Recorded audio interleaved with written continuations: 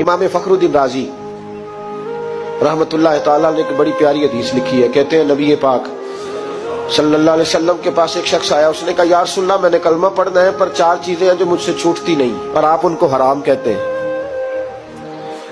तो हजूर, आप हुक्म करे, क्या करूँ? फरमाया, चल, तू बोल, वो क्या है? कहने लगा, जी, मैं शराब का भी आती हूँ। माज अल्लाह बोलिए सारे बोलिए, मैं शराब का आदि हूँ, मुझसे छूटती नहीं।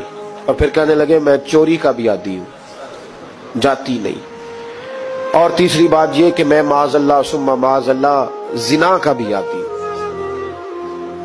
और चौथी, मेरे अंदर बीमारियाँ कि मैं झूठ बहुत बोलता हूँ। याद छूटती नहीं।